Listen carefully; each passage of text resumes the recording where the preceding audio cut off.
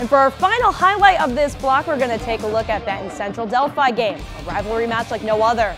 Bison start out with the ball. QB Joe Widmer sends the pass out wide, but Delphi linebacker Mikhail Cleaver establishes early Oracle defense isn't playing around. But Widmer isn't messing around either. He sends a dime down the field, and wide receiver Corbin Cooley is there to collect, making a fantastic catch. Bison's passes game tonight was looking good.